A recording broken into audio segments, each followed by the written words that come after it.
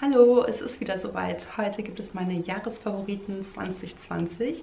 Das heißt, ich zeige euch die Bücher, die mir von denjenigen, die ich letztes Jahr gelesen habe, am besten gefallen haben. Wie immer, ist es mir auch dieses Jahr nicht leicht gefallen, eine Auswahl zu treffen. Es gibt noch einige weitere Bücher, die ich an dieser Stelle nicht zeigen werde. Sind ohnehin schon, ich glaube, 15, die ähm, ich auch absolut klasse fand und die ganz gewiss irgendwann in Zukunft in einem anderen Video nochmals erwähnt werden. Ich werde mich in diesem Video auch etwas kürzer fassen, es zumindest versuchen. Ähm, ich beginne mit den Romanen, dann gehe ich über zu den Sachbüchern, Memoiren, dann zu den Klassikern und zum Schluss gibt es eine Graphic Novel. Bei den Romanen zumindest gibt es dieses Jahr auch grob, wirklich ganz grob, eine Reihenfolge. Angefangen mit tollen Büchern zu immer tolleren Büchern. Ähm, das erste Buch ist eines, das seinen Zauber für mich erst mit der Zeit langsam entfaltete, und zwar Die Entdeckung der Langsamkeit von Stella Dolny. Das ist ein Roman über John Franklin. Franklin war Seefahrer und erforschte Anfang des 19. Jahrhunderts den Nordpol, unter anderem. Darüber hinaus hat Franklin nämlich noch eine ganze Menge gemacht und unglaublich viel erlebt. Es war ein wirklich sehr abenteuerliches Leben, das er führte und worüber ich so unglaublich gerne gelesen habe. Ich finde, es ist ein sehr spannender ähm, biografischer Roman. Außerdem hat Nadolny in diesem Buch noch ein Thema in die Lebensgeschichte Franklins verwoben und zwar die Langsamkeit. Franklin ist in diesem Roman bei allem, was er tut, ausgesprochen langsam. Deswegen wird er insbesondere in seiner Kindheit von seinen Mitmenschen als unfähig zurückgeblieben, als Nichtsnutz abgestempelt. Was den anderen allerdings entgeht, sind die Vorteile, die Franklins Langsamkeit mit sich bringt, denn er ist alles andere als blöd. Es ist also zugleich auch eine Geschichte über und für das Innehalten, die Achtsamkeit. Ich mochte einfach diese Kombination auch unglaublich gerne. Auf der einen Seite die Erforschungstouren und all die Abenteuer und dann eben auch die, die Ruhe und die Bedachtsamkeit. Ich fand beides wunderbar, vor allem beides zusammen. Ein tolles Buch. Das nächste Buch ist eines, an das ich immer wieder mal zurückdenke, und zwar Upstate von James Wood. Es geht hier um Alan. Er hat zwei erwachsene Töchter. Helen lebt wie er in England. Die andere Tochter, Vanessa, ist Philosophieprofessorin und lebt in Upstate, New York. Eines Tages dann erhält Alan die Nachricht, dass Vanessa erneut in schwere Depressionen zu stürzen scheint. Ellen und Helen machen sich sofort auf den Weg, reisen nach Upstate zu Vanessa. Bei der Zusammenkunft der Familie offenbaren sich für den Leser sehr fein die Wesenszüge der Figuren und auch die jeweiligen Verhältnisse der Figuren zueinander. Und diese Schilderung unter anderem fand ich so ausgesprochen schön die Art, ähm, wie sie sich verhalten, wie sie mit äh, bestimmten Erlebnissen und Gefühlen umgehen, wie sie versuchen, sich erfolgreich oder erfolglos einander anzunähern. Grob zusammengefasst geht es in diesem Buch um Familie, Beziehungen, Verbundenheit, um das Leben.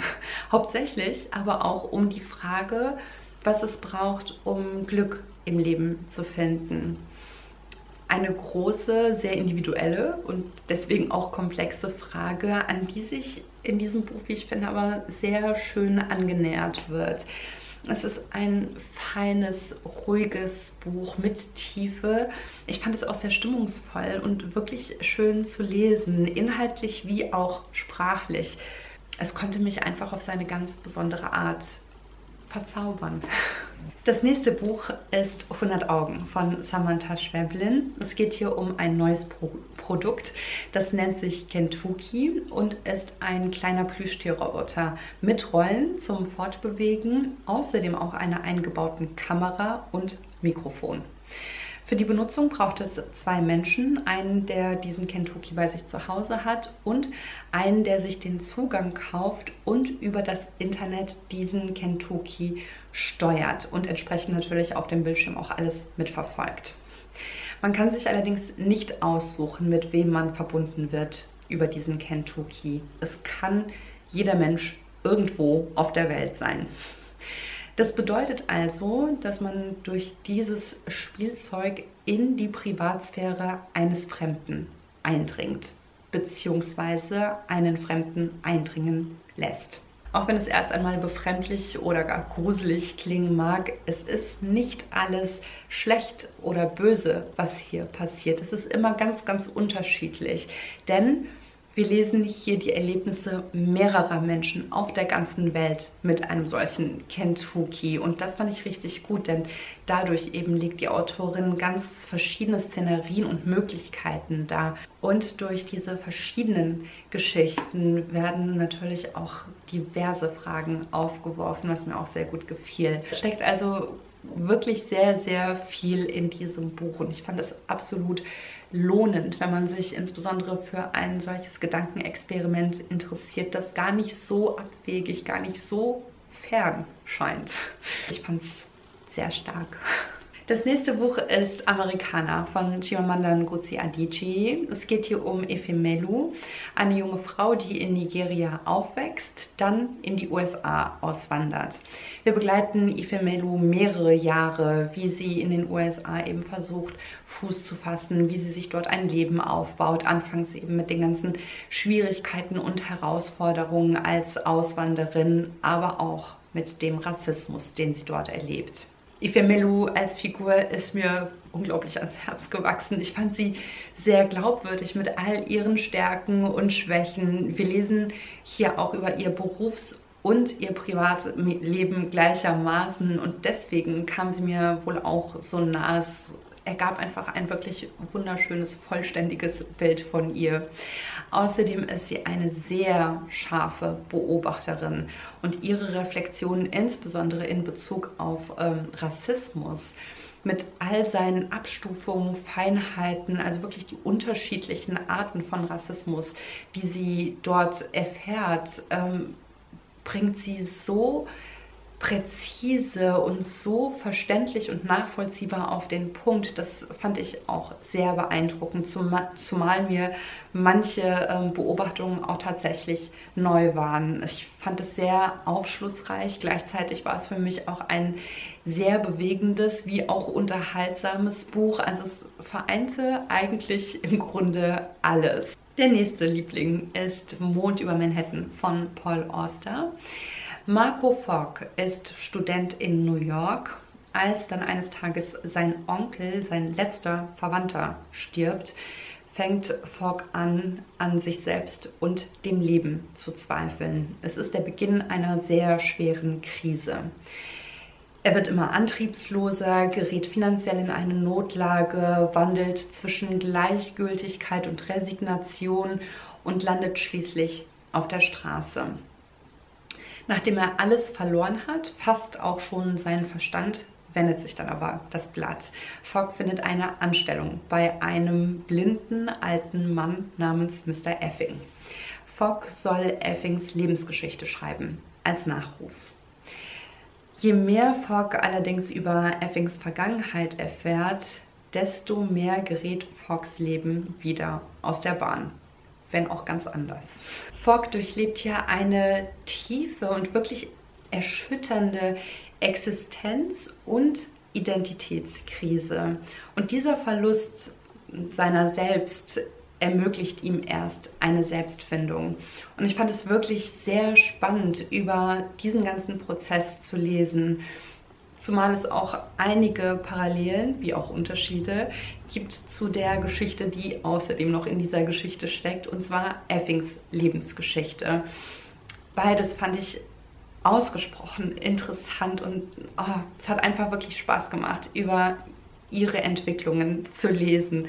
Ich fand es unterhaltsam, ich fand es fesselnd und auch sehr tiefsinnig. Also es gibt einiges, was hier auch Nachhalt oder zum Nachdenken anregt und deswegen, ja, unglaublich, unglaublich gern gelesen.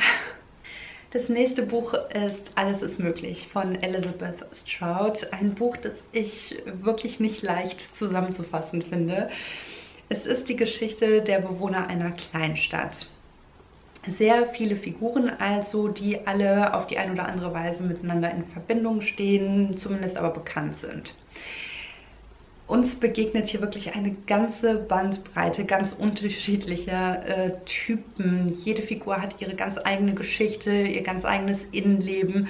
Und deswegen werde ich auch nicht auf einzelne Figuren zu sprechen kommen. Stattdessen sage ich einfach nur, dass Stroud durch die Geschichte all dieser Individuen ein Bild von allem Menschlichen und Zwischenmenschlichem schafft. Unterm Strich sehnen sich eigentlich alle nach Zugehörigkeit, nach Liebe und nach Glück. Manchen gelingt es besser, manchen gelingt es nicht so gut. Manche stellen sich dabei selbst ein Bein, anderen werden Steine in den Weg gelegt und so weiter und so fort. Also steckt eigentlich wirklich das gesamte Leben, die gesamte Welt in diesem Buch. Und das schafft Stroud insbesondere durch ihre sehr, sehr scharfe Beobachtungsgabe, durch ihren Scharfblick. Der hat mich wirklich sehr stark beeindruckt. Ich denke, man muss dieses Buch wahrscheinlich selbst lesen, um wirklich zu verstehen, was Stroud hier schafft. Ich muss sagen, ich war positiv überrascht. Mir eröffnete sich erst nach und nach, was eigentlich alles in diesem Buch angesprochen und behandelt wird fand ich sehr beeindruckend. Ähm, hatte ich in dem Maße nicht erwartet und finde es toll. Ein weiterer Favorit ist Die sieben Tode der Evelyn Hardcastle von Stuart Turton. Das Ganze spielt auf dem Anwesen der Hardcastles. An dem Tag findet dort ein Ball statt. Am Abend aber wird die Tochter Evelyn ermordet. Ein Mann namens Aiden soll im Geheimen diesen Mord aufklären. Dafür wird er in eine Zeitschleife gesteckt. Das heißt, er erlebt immer und immer wieder den gleichen Tag, den Tag, an dem der Mord geschah. Außerdem schlüpft Aiden jedes Mal in die Haut eines anderen Gastes. Den Mord aufzuklären ist aber alles andere als leicht. Es gibt viele Enthüllungen und Entdeckungen oder vielleicht Täuschungen. Außerdem ist es auch nicht das Einzige, was es aufzuklären gilt.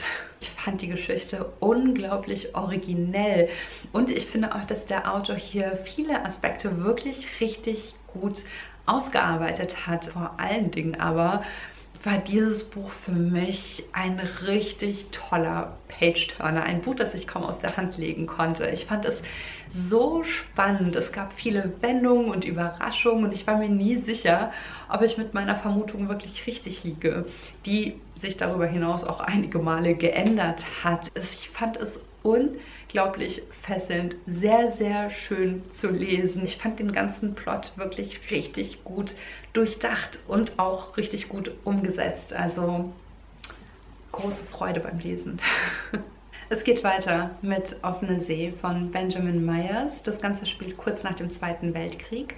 Robert hat gerade seinen Schulabschluss gemacht, aber bevor er anfängt, unter Tage zu arbeiten, möchte er noch etwas erleben.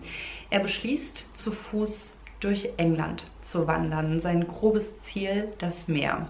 Er zieht also los, arbeitet als Tagelöhner, ist viel in der Natur und übernachtet auch oft im Freien. Er lebt sozusagen in den Tag hinein und fühlt sich dabei auch immer freier und immer lebendiger. Eines Tages dann erreicht er ein abgelegenes kleines Cottage in der Nähe des Meeres und lernt die Besitzerin des Hauses kennen, Dulcie.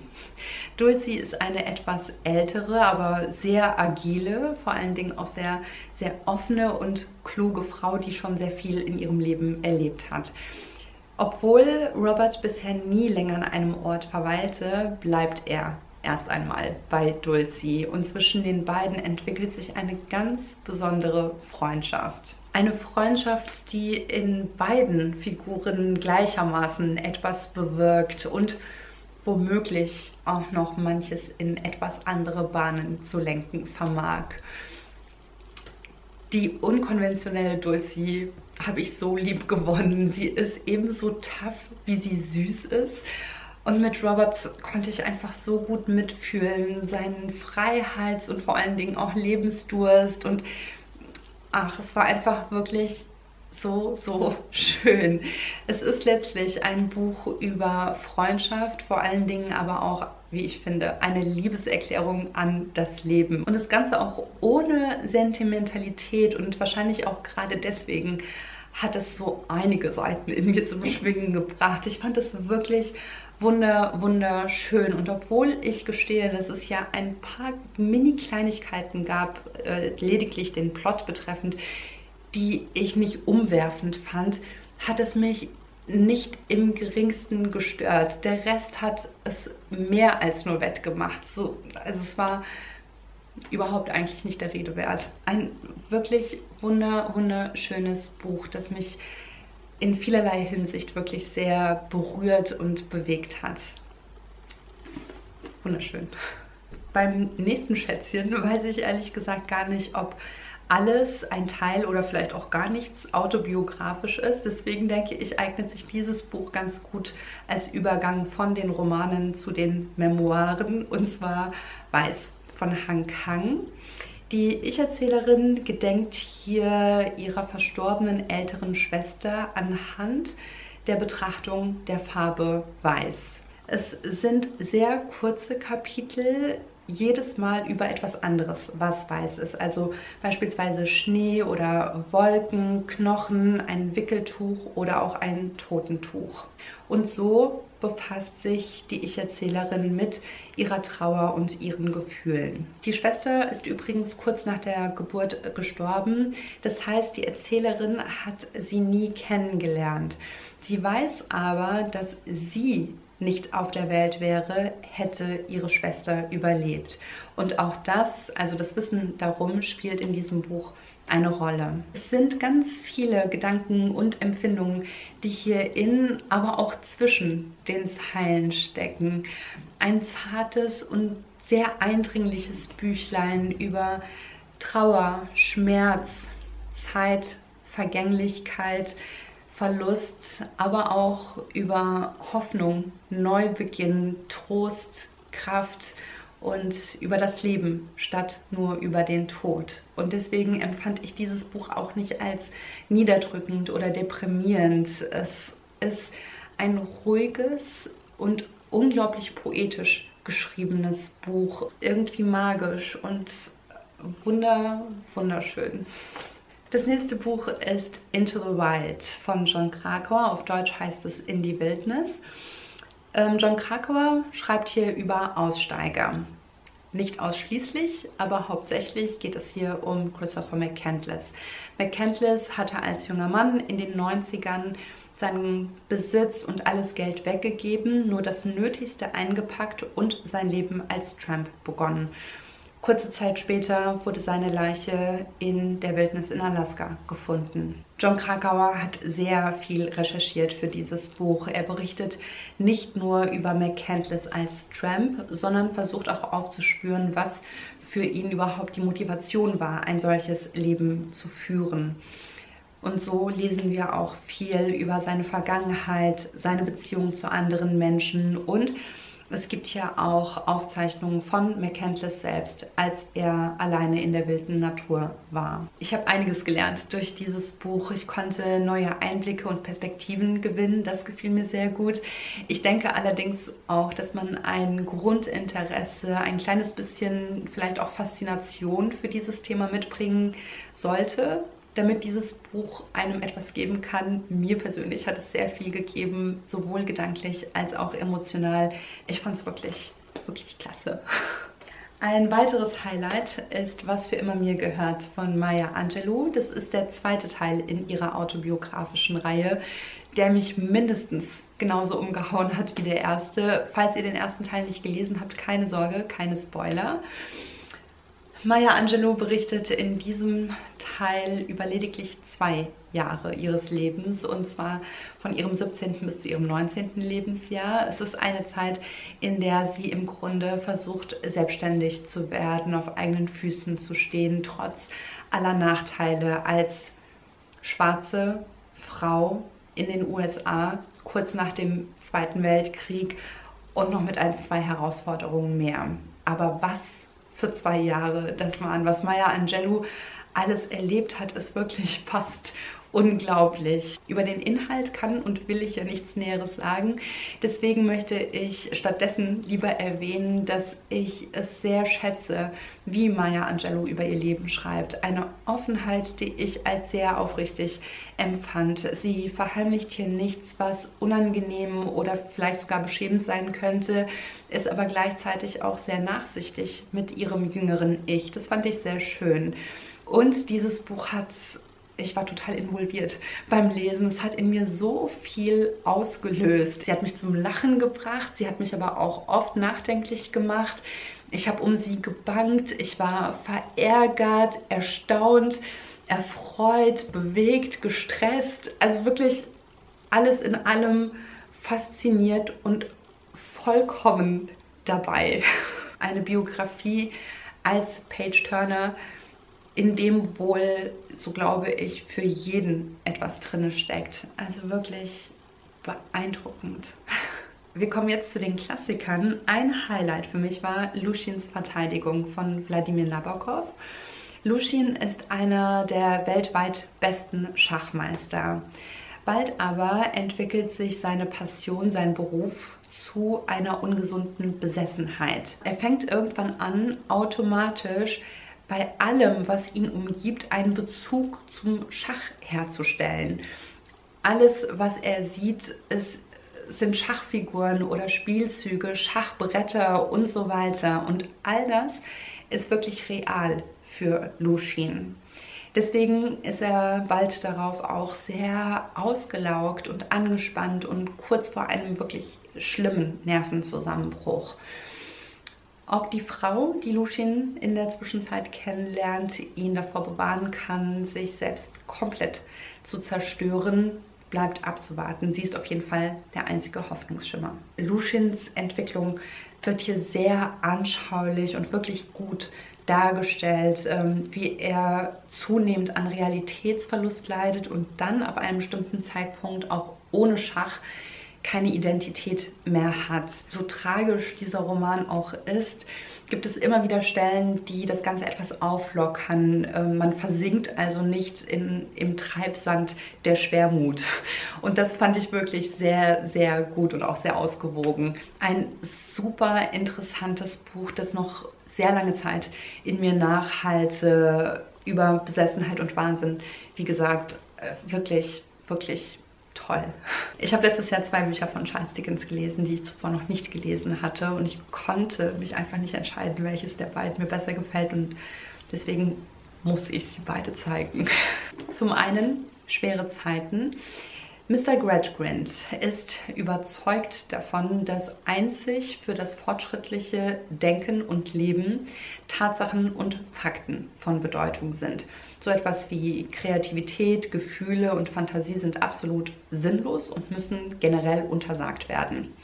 Er ist also ein Utilitarist und entsprechend erzieht er seine Kinder und auch seine Schüler. Und das, wie wir später erfahren, nicht ohne Folgen. Sein guter Freund Bounderby, ein Fabrikbesitzer, unterstützt Gradgrins Ideale. Sein persönliches größtes Ideal allerdings ist der Profit auf Kosten seiner Arbeiter. Er also ist ein Kapitalist. Und wie seine Ausbeutung aussieht, erfahren wir unter anderem durch die Figur Blackpool. Blackpool arbeitet sich für einen Hungerlohn in der Fabrik Bounderbees kaputt, betrachtet aber auch die Gewerkschaften eher kritisch. Er hat kein Interesse, sich einer Seite anzuschließen und wird deswegen letztlich das Opferlamm aller. Ich habe bisher zumindest noch kein Buch von Charles Dickens gelesen, bei dem die Kritik so deutlich zum Ausdruck kommt und so sehr im Fokus der Geschichte steht. Er kritisiert hier die gesellschaftlichen wie auch wirtschaftlichen Missstände und Unterdrückungen, also die Industrialisierung und die Habgier des Kapitalismus und wie gesagt auch den, äh, das Nützlichkeitsprinzip, den Utilitarismus. Das alles Lebenswerte und menschliche unterdrückt. Ein Buch also, das die Probleme und Standpunkte der damaligen Zeit widerspiegelt, die auch heute nicht ganz unbekannt sind. Die Figuren in Dickens Werken werden für mich einfach immer äußerst lebendig und entwickeln ihr Eigenleben, ein regelrechtes Kopfkino im im Kopf. Ähm, schwere Zeiten bildet hier keine Ausnahme. Ich, ich mag es unglaublich gerne. Und damit kommen wir zum zweiten Buch. Little Dorrit, Klein Dorrit auf Deutsch. Ähm, es geht hier um Klein Dorrit. Ihr Vater sitzt im Schuldgefängnis, weil er seine Schulden nicht begleichen konnte. Und Little Dorrit lebt mit ihm in diesem Gefängnis. Sie allerdings kann tagsüber äh, das Gefängnis verlassen. Und dabei lernt sie dann Arthur Clenham kennen, einen Mann, der vor kurzem erst äh, aus dem Ausland zurückgekehrt ist. Clem interessiert sich sehr für die Umstände von Klein Dorrit und ihrer Familie, insbesondere weshalb der Vater genau in dem Schuldgefängnis gelandet ist. Er versucht also herauszufinden, was wirklich dahinter steckt, muss aber feststellen, dass es ganz schön kompliziert ist, weil sehr viel mehr Figuren in diese ganze Geschichte involviert sind, als irgendjemand vorher ahnen konnte, inklusive der Leser. Eine Geschichte also mit einer Vielzahl an bunten Figuren und auch einigen Handlungssträngen, die anfangs auch gar nicht miteinander zusammenhängen und erst mit der Zeit zusammenlaufen und entsprechend auch erst nach und nach das Ganze offenbaren. Ein wirklich toller Roman mit vielen Wendungen und Überraschungen. Und auch hier wieder bin ich fasziniert von der Figurenzeichnung. Sie wurden alle so lebendig für mich, dass ich wieder mit ihnen lebte oder sie mit mir lebten. Ah, ich mag das sehr. Ein sehr, sehr stimmungsvolles und auch sehr mitreißendes Buch, wie ich finde. Hat viel Spaß gemacht. Wir kommen jetzt zu den Graphic Novels. Ich habe letztes Jahr verhältnismäßig wenig Graphic Novels gelesen. Eine stach für mich aber ganz besonders hervor und zwar das Tagebuch der Anne Frank. Ich denke, die Geschichte von Anne Frank ist zumindest in den Grundzügen schon jedem bekannt. Ich muss nicht mehr allzu viel dazu sagen. Anne Frank versteckte sich als 13-Jährige während des Zweiten Weltkrieges äh, vor den Nazis mit ihrer Familie gemeinsam in einem Hinterhaus, weil sie Juden waren. Diese Graphic Novel beinhaltet selbstverständlich nicht das gesamte Tagebuch der Anne Frank. Manche Stellen wurden hier zusammengefasst. Das erklären die Künstler aber auch am Ende des Buches nochmal genauer. Was mir ganz besonders gut gefiel, war, wie die Künstler hier bestimmte Gefühle und Gedanken und Situationen zeichnerisch umgesetzt haben. Das fand ich wirklich, wirklich toll eine wirklich sehr, sehr durchdachte Umsetzung des Tagebuchs als Graphic Novel und für mich die Graphic Novel, die am meisten hervorstach letztes Jahr. Und das waren alle meine Highlights von 2020. Ich bin sehr, sehr gespannt auf eure Meinungen zu meinen Favoriten. Vielleicht konntet ihr auch das ein oder andere Buch erraten, keine Ahnung. Und wenn ihr möchtet, teilt mir auch gerne ein paar eurer Jahresfavoriten unten in den Kommentaren mit. Ich bin schon ziemlich gespannt, was euch so beeindrucken konnte. Und ja, damit wünsche ich euch wunderbare Lesestunden auf viele weitere tolle Bücher dieses Jahr hoffentlich und bis zum nächsten Video. Macht's gut. Ciao.